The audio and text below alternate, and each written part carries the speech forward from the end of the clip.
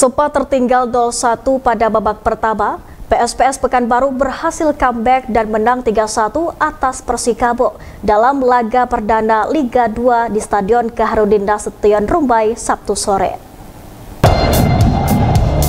Tim Askar Bertuah PSPS Pekanbaru berhasil menang dan tampil dominan saat menghadapi Persikabo dalam laga perdana Liga 2 di Stadion Kaharudin Nasution Rumbai Sabtu sore. Sempat tertinggal 0-1, anak asuh Aji Santoso berhasil catatkan comeback dan unggul 3-1. Di babak pertama, pemain PSPS langsung berusaha menekan ke pertahanan Persikabo. Beberapa peluang emas juga tercipta. Namun para pemain belakang Persikabo masih solid sehingga upaya para pemain PSPS belum membuahkan hasil kalah beberapa kali para pemain Persikabo juga berusaha membongkar pertahanan PSPS. Namun pertahanan PSPS yang dikomandoi pemain senior Maman Abdul Rahman juga tak kalah solid. Persikabo sempat mencetak gol di penghujung babak pertama namun dianulir wasit karena pemain Persikabo terlebih dahulu terjebak offside. Skor kacamata menutup jalannya babak pertama. Di babak kedua, PSPS Pekanbaru kembali mendominasi pertandingan.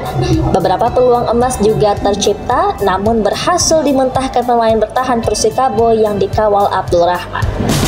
Begitu juga dengan Persikabo yang memanfaatkan momen serangan balik untuk membungkam skuad Askar bertuah. Tak sia-sia, upaya tersebut membuahkan hasil.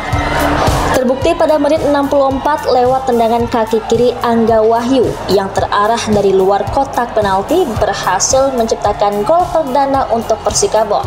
Skor 0-1 keunggulan untuk Persikabo. Menahan malu di depan ribuan supporternya, pada menit 67, PSPS Pekanbaru akhirnya berhasil memecah kebuntuan lewat kaki Ilham Fatoni, manfaatkan kemelut di depan gawang Persikabo. Skor satu sama untuk kedua tim.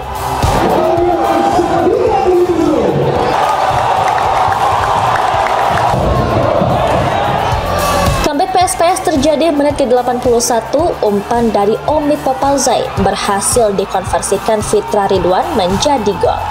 2-1 untuk keunggulan PSPS Pekanbaru.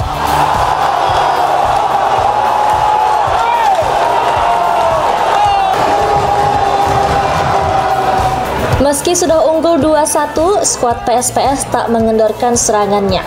Dua menit jelang babak kedua berakhir, PSPS Pekanbaru kembali menambah golnya lewat John Edi Mena Perez. Pemain asal Kolombia ini berhasil menggocek pemain Persikabo dan melesatkan tendangan keras ke gawang Persikabo yang dikawal Khail Zul Azhar. Akhir babak kedua, PSPS Pekanbaru terus menguasai bola dan mengakhiri pertandingan dengan kemenangan 3-1 atas Persikabo. Dengan hasil ini, PSPS Pekanbaru memimpin klasemen sementara Liga 2 Grup A. Adinda Nilorazana dan Sugiarto melaporkan.